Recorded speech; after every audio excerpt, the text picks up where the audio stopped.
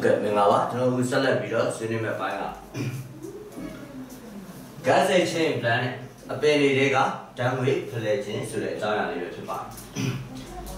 တယ်ဒါဆိုဒီပင်ထဲမှာကျွန်တော်လေ့လာကြည့်မယ်ဆိုရင်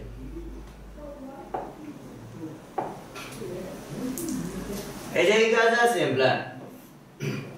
exchange sorry gas exchange plan အပင်တွေရဲ့ဓာတ်ငွေဖလှယ်မှုတွေကတဲ့ is dominate လွှမ်းမိုးထားပါတယ်။ဘာလို့လွှမ်းမိုးထားတာလဲဆိုလို့ရှိရင် binary rules of carbon dioxide oxygen and water vapor carbon dioxide တွေ oxygen တွေနဲ့ water vapor လို့ခေါ်တဲ့ရေငွေ့တွေရဲ့အခန်းကဏ္ဍအဖြစ်လွှမ်းမိုးခြင်းပဲဖြစ်တယ်။အော်အပင်တွေကဓာတ်ငွေ့ဖလှယ်ခြင်းဆိုတာ carbon dioxide oxygen နဲ့ရေငွေ့တွေရဲ့အခန်းကဏ္ဍတွေနဲ့လွှမ်းမိုးထားတော့အကြောင်းအရာပဲဖြစ်တယ်။ဒါကြောင့် အပင်တွေကဆိုလို့ရှိရင်လည်းများသောအားဖြင့်ရရှိ။ဘာတွေရရှိလဲဆိုတော့သူတို့လိုအပ်တဲ့ဓာတ်ငွေ့တွေကိုရရှိခြင်းပဲဖြစ်တယ်။ Through their leaf အော်သူတို့ရဲ့အရွက်တွေကိုဖြတ်တန်းပြီးတော့သူတို့ရဲ့အရွက်တွေမှာတစ်ဆင့်ဟောသူတို့ရဲ့အရွက်တွေမှာတစ်ဆင့်သူတို့လိုအပ်နေတဲ့အောက်ဓာတ်ငွေ့တွေကိုရရှိခြင်းပဲဖြစ်ပါတယ်။အဲ့တော့ပြောချင်တာအပင်တွေကဆိုလို့ရှိရင် သူတို့ရဲ့အရွက်တွေမှာတက်ဆင့်လိုအပ်နေတဲ့လိုအပ်နေသောဓာတ်ငွေ့တွေကိုညာတော့အပြည့်ရရှိတယ်။ဒါဆိုရင်သူတို့တွေက require oxygen oxygen တွေလိုအပ်တယ်။ဘာကအောက်ဆီဂျင်လိုအပ်တာလဲဆိုတော့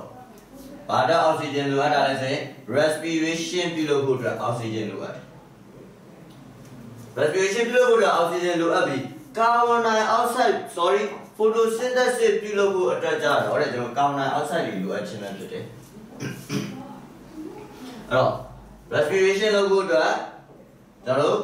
အပင်နေရာဆိုရင်အောက်ဆီဂျင်တွေလိုအပ်တယ်။ photosynthesis ပြုလုပ်ဖို့အတွက်ကာဗွန်ဒိုင်အောက်ဆိုက်တွေကိုလိုအပ်ခြင်းနဲ့ဖြစ်ပါတယ်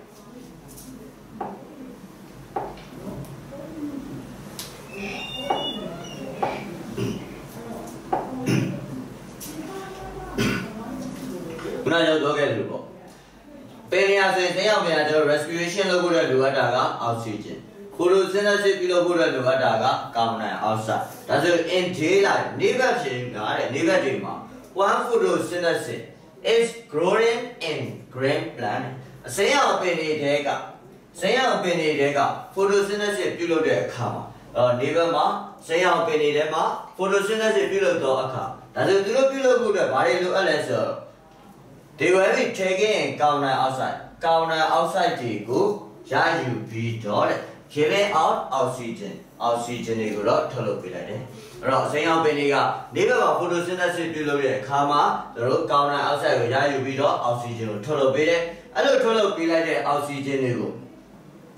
respiration ပြုလုပ်တဲ့အခါမှာ respiration is going on လို့ခေါ်တယ် respiration ပြုလုပ်တဲ့အခါကျွန်တော် soil tolerance တော့မဟု တ်တက်ရှူခြင်းပြုလုပ်တဲ့အခါမှာတော့သူကတော့ they will be taken in oxygen ဒါဆိုရင်ခုနထုတ်လွှတ်လိုက်တဲ့ photosynthesis ကထုတ်လွှတ်လိုက်တဲ့ oxygen ကိုယူဆောင်ပြီးတော့ဘာပြန်ထုတ်ပေးလိုက်လဲဆိုတော့ giving out carbon dioxide ကိုပြန်ထုတ်ပေးလိုက်တယ်အဲ့ဒါကြောင့်သိချင်တာကကျွန်တော်လိုချင်တာ carbon dioxide ပြုလုပ်ဖို့အတွက် sorry photosynthesis ပြုလုပ်ဖို့အတွက် photosynthesis ပြုလုပ်ဖို့အတွက်သူလိုအပ်တာကဘာလိုအပ်လဲဆိုတော့ carbon dioxide ဘယ်ချိန်မှာပြုလုပ်မှာလဲနေဘက်မှာနေဘက်မှာ photosynthesis လုပ်ဖို့အစိမ်းရောင်ပင်တွေကနေဘက်မှာ photosynthesis ပြုလုပ်ဖို့အတွက် carbon dioxide ကိုအသုံးပြုပြီးတော့ oxygen ကိုထုတ်လုပ်ပေးခဲ့ဒါဆိုသူက photosynthesis လုပ်နေတဲ့အချိန်မှာပဲကျွန်တော် respiration လုပ်နေတဲ့အချိန်မှာကတော့ဒါဆို photosynthesis ကထုတ်လုပ်ပေးလိုက်တဲ့ oxygen ကိုယူဆောင်ပြီးတော့ photosynthesis အတွက်ဗာပြန်ထုတ်ပေးလဲဆိုတော့ carbon dioxide ကိုထုတ်လုပ်ပေးခြင်းပဲဖြစ်တယ်လို့ဆိုလိုတာပါ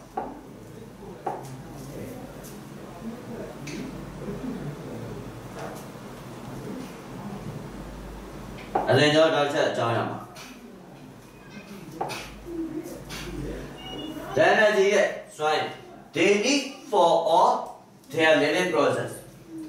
အဲ့တော့ their living process လို့ခေါ်တယ်တက်ရှိတွေသူတို့ရဲ့တက်ရှိအားလုံးရဲ့အတွက်သူတို့တက်ရှိအားလုံးရဲ့လုပ်ငန်းဖြစ်စဉ်တွေအတွက်ဖြစ်စဉ်တွေအတွက်တဲ့လိုအပ်တဲ့ soil တွေကိုလိုအပ်တဲ့ soil တွေကိုဘယ်ကနေလဲဆိုတော့ apart from photosynthesis photosynthesis မှာလွယ်၍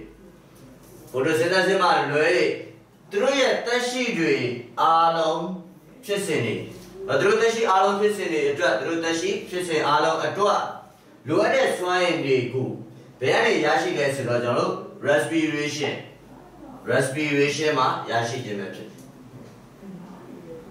ဒါဆိုရင်အဲ့လိုရရှိပြီးခြင်းတွေက၎င်းဖြစ်စဉ်တွေက this group going on hot time ဒါဆိုရင်အဲ့ဖြစ်စဉ်ကအချိန်တိုင်းမှာလည်းဖြစ်ပွားနေခြင်းဖြစ်တယ်အဲ့တော့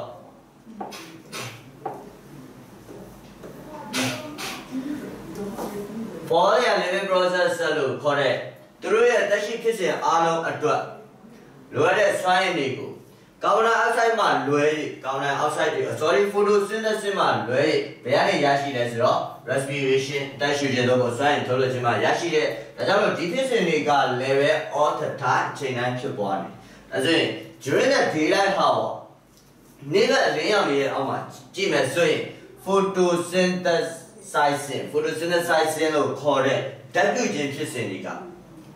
photosynthesizing လို့ခေါ်တဲ့ဓာတ်ပြုခြင်းဖြစ်စဉ်တွေကဖြစ်သလိုဓာတ်ပြုခြင်းဖြစ်စဉ်တွေဖြစ်သလို respiration တွေကိုလည်းပဲဖြစ်စေတယ်အဲ့တော့ကျွန်တော်ဒီနားကလွတ်ဆောင်မဲ့သူကြံခဲ့တယ်ဒါဆိုရင်လည်းပြောမယ် during the daylight how နေဘက်လင်းအောင်ရရှိနေစဉ်အတော်တွင်းမှာအပင်တွေဟာဆိုလို့ရှိရင်အပင်တွေက plants are photosynthesizing အပင်တွေက ဘာလုပ်လဲဆိုတော့ photosynthesis ရဲ့ဓာတ်ပြုမှုကိုပြုလုပ်ပြီးတော့ respiration ကိုလည်းဖြစ်ပေါ်စေတဲ့ so that ဒါကြောင့်မလို့ carbon dioxide တွေကို produce ထုတ်လုပ်ပြီးဘယ်သူက respiration ကအဲ respiration လုပ်တဲ့ချိန်မှာ respiration ကကျွန်တော်ဘာလုပ်ပေးလဲဆိုတော့ carbon dioxide တွေကိုထုတ်လုပ်ပြီးအဲ့ဒီထုတ်လုပ်လိုက်တဲ့ carbon dioxide ကိုဘယ်သူကအသုံးပြုလာလဲဆိုတော့ photosynthesis ပြန်လုပ်ဖို့အတွက် respiration ကထုတ်လိုက်တဲ့ carbon dioxide ကိုပြန်လည်အသုံးပြုခြင်းပဲဖြစ်အဲ့ဒါစိမ့်လိုက်နဲ့အဲ့ဒီအချိန်မှာပဲ all the oxygen needed by respiration အော် respiration မှာလိုအပ်တဲ့ respiration အပြင်လည်းလိုအပ်တဲ့ oxygen တွေကိုသူကလည်းပဲအသုံးပြုအဲ့တော့သူကထုတ်လုပ်လိုက်တာလဲဆိုတော့ photosynthesis photosynthesis အလင်းမီစာဖွေစည်းခြင်းဖြစ်အလင်းမီဖွဲ့စည်းခြင်းမှာထုတ်လုပ်ပေးလိုက်တဲ့ဒါမှမဟုတ်ထောက်ပံ့ပေးလိုက်တဲ့ oxygen ကို respiration ကလိုအပ်လို့အသုံးပြုခြင်းပဲဖြစ်တယ် respiration က respiration လိုအပ်ခြင်းလည်းဖြစ်တယ်ဒါဆိုရင်ပင်တွေမှာ oxygen နဲ့ carbon dioxide တွေဒီအောက်ဆီဂျင်နဲ့ကာဗွန်ဒိုင်အောက်ဆိုက်တွေကတဖြူပြန့်နှံ့ through the stomata လေကောင်းငယ်လေးကိုဖြတ်တန်း through the stomata and the lacticell lacticell လို့ခေါ်တယ်ကျွန်တော်ပြောမယ်ဆိုတော့ penicillin ပေါ့နော်ဒါဆိုရင်တော့ penicillin တန်ရှိတာပေါ့ဒါပေမဲ့ကျွန်တော်ပြောပြောလိုက် the stomata and the lacticell လို့ခေါ်တယ်အဲ့ဒီလေကောင်းငယ်လေးတွေမှာတဆင့်ကျွန်တော်တို့အောက်ဆီဂျင်နဲ့ကာဗွန်ဒိုင်အောက်ဆိုက်တွေကိုပြန့်နှံ့စေခြင်းပဲဖြစ်ပါတယ်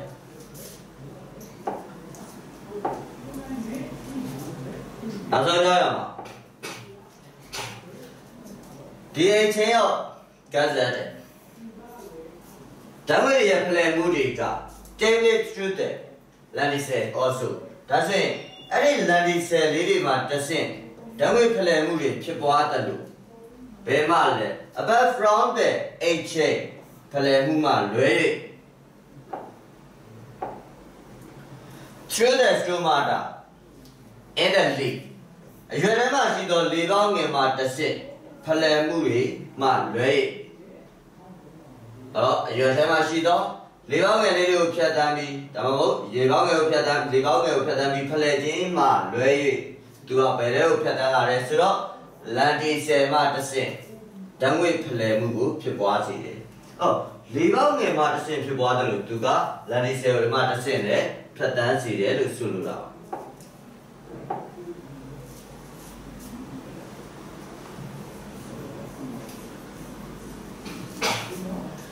အဲ့တော့မှကျွန်တော်နောက်တဲ့ role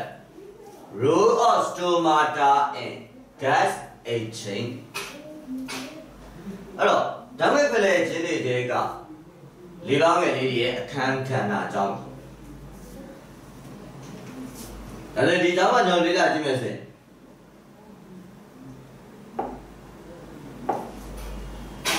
stress အပရမောတော့ဒီစောက်ပေါ့ဘယ်ဒီဒီစောက်ပေါ်မှာလေ့လာ stomata ကတဲ့စတိုမာတာဒီဒီကောင်းငယ်ဒီ ဒီအားဒီဥပနဲ့အပေါက်လေးပဲဖြစ်တယ်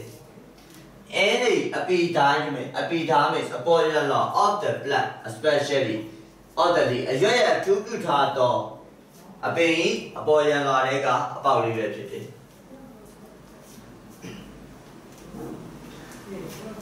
အဲ့ဒီလိုဖြစ်ပေါ်နေကြောင်းအစင်း figure 4.4မှာ4.4မှာမြင်တွေ့ရမယ်။ဆွဲဆောင်မှာကျွန်တော်ဒီပေါင်းမဲ့လေးဒီအားဒီ open နဲ့အပေါက်လေးပဲဖြစ် အဲ့ဒီအပီတိုင်းမဲ့အပီဓာတ်မဲ့အပေါ်ရန်တော့ of the plus အပင်ရဲ့အပေါ်ရန်လာတဲ့ကပေါက်လေးပဲဖြစ်တယ် especially to the of the အရွယ်အရွယ်အထူးပြတာဒါဆိုအရွယ်ပြီးအထူးပြတာတော့အထူးသဖြင့်အထူးသဖြင့်ကျွန်တော်တို့အပင်ရဲ့အပေါ်ရန်လာမှာရှိတော့အပေါက်လေးဖြစ်တယ်ဆိုတဲ့ကြောင့် figure ဘောကပေါ်မှာမြင်တွေ့ရမယ်ဒါဆို stomata လေးပေါင်းငယ်လေးဒီကိုတဲ့ is bounded ဝင်းရံတာ by pair of specialized cell လို့ခေါ်တဲ့အထူးပြုထားသော cell လေးတစ်စုံကဝင်းရံထားပါတယ် အဲဒီ cell ကို known as the gut cell ဝင်းရံထားသော cell လို့ခေါ်ဆိုတယ်အဲ့တော့ပြောချင်တာက stomata လို့ခေါ်တဲ့လေးပေါင်းငယ်ကိုလူသိများတော့ဒါမှမဟုတ် gut cell လို့ခေါ်တဲ့ gut cell လို့ခေါ်တဲ့ကျွန်တော်အထူးပြုထားတဲ့ cell လေးတစ်စုံကဝင်းရံထားခြင်းဖြစ်တယ်ဒါဆိုအဲ cell လေးမှာကိုယ်နဲ့ပါဝင်နေတဲ့ဒါဆို gut cell လေးမှာပါဝင်တဲ့အဲ့ဒီဝင်ရထားသော cell လေးမှာဘာတွေပါလာလဲဆိုတော့တဲ့ the chloroplast chloroplast လေးလည်းပါရှိပါတယ် အဲ့ဒီ gut cell မှာကျွန်တော်ပါရှိလဲဆိုတော့ chloroplast လည်းပါရှိပါတယ်နောက်ကျတော့ကျွန်တော် function ကြောင့်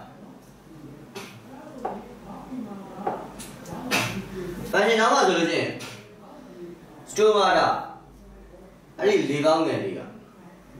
အလားတဲ့ gas စိတ်ချင်းဓာတ်ငွေဖလှယ်မှုတွေရဲ့ transpiration ပင်ငွေပြန်ခြင်းတွေဓာတ်ငွေဖလှယ်ခြင်းတွေနဲ့ပင်ငွေပြန်ခြင်းတွေကိုတော့ခွင့်ပြုထားပါတယ် အော်ဒီဘောင်းငယ်လှဆောင်ချက်ဒီသူရဲ့ဒီဘောင်းငယ်လေးကနေပြီးတော့ပင်ငွေပြန်ခြင်းနဲ့ဓာတ်ငွေရဲ့ဖလှယ်မှုတွေကိုခွင့်ပြုထားတယ်ဒါဆိုရင် gas gas ဓာတ်ငွေမှာကြည့်မယ်ဆိုရင်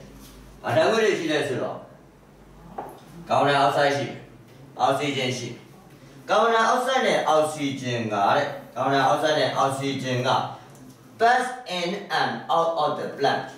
အပင်ရဲ့အပြင်ဘက်နဲ့အတွင်းဘက်တို့ ပြန့်နှံ့စေခြင်းဒါမှမဟုတ်ဖြတ်သွားခြင်းပဲဖြစ်တယ်။ဘယ်အနေလဲဆိုတော့ through this open နဲ့၎င်းအပေါက်ဝါလေးမှာတစ်ဆင့်ဘယ်အပေါက်ကိုလဲကျွန်တော် stomata လေးပေါင်းငယ်လေးမှာတစ်ဆင့်အပင်ရဲ့အတွင်းဘက်နဲ့အပြင်ဘက်တို့အောက်ဆီဂျင်နဲ့ကာဗွန်ဒိုင်အောက်ဆိုက်ဖလှယ်နေကြခြင်းပဲဖြစ်တယ်။ဘယ်ချိန်လဲ during photosynthesis and respiration respectively အဲဆိုတည်တည်ပြကြတော့လုပ်ငန်းစဉ်တည်တည်ဖြစ်တဲ့ photosynthesis နဲ့ respiration ပြုလုပ်နေစဉ်အတော်တွင်းမှာတော်တွင်းမှာ၎ င်းပေါက်လို့ခေါ်တဲ့ကျွန်တော်တို့လေကောင်းငယ်လေးကတစ်ဆင့်အပင်ရဲ့အတွင်းဘက်နဲ့အပြင်ဘက်တို့အတွင်းဘက်နဲ့အပြင်ဘက်တို့ကာဗွန်ဒိုင်အောက်ဆိုက်နဲ့အောက်ဆီဂျင်တွေပြန့်နှံ့စေခြင်းလည်းဖြစ်ပါတယ်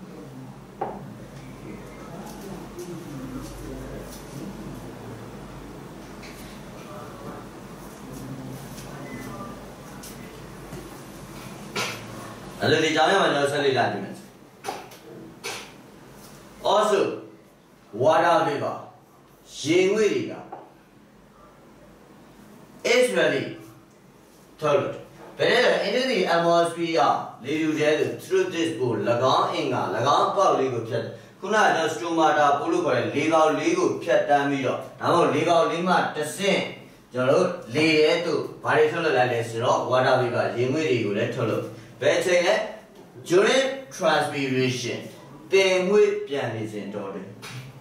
အဲ့တော့ပင်ငွေ့ပြန်နေစဉ်အတော်တင်းမှာတဲ့ကျွန်တော်အဲ့ဒီလေကောင်းငယ်လေးတွေကိုဖြတ်တန်းပြီးတော့ဒါမှမဟုတ်လေကောင်းငယ်မှာတစ်ဆင့်လေယူတဲ့သူရေငွေ့တွေကိုထုတ်လွှတ်လိုက်ခြင်းလည်းဖြစ်တယ်ပြီးတော့ the gut cell တဲ့အဲ့ဒီဝင်းရံထားတဲ့ cell လေးက are responsible တာဝန်ယူဆောင်ရွက်နိုင် for regulation for regulating ထိန်းသိမ်းမှုအတွက်ထိန်းချုပ်မှုအတွက် the opening and closing ဖွင့်ပိတ်ခြင်း of stomata လေကောင်းငယ်လေးရဲ့ဖွင့်ခြင်းပိတ်ခြင်းကိုထိန်းသိမ်းရန်ထိန်းသိမ်းရန်အတွက်တာဝန်ယူနိုင်ခြင်းပဲဖြစ်တယ်။ဒါကစဲရဲ့လုံဆောင်ချက်ကစဲရဝေယံပြီးလာတဲ့ဆရာလေကောင်းငယ်လေးရဲ့အဖွင့်ပိတ်ကိုထိန်းချုပ်ရန်အတွက်လည်းတာဝန်ယူနိုင်ခြင်းပဲဖြစ်ပါတယ်။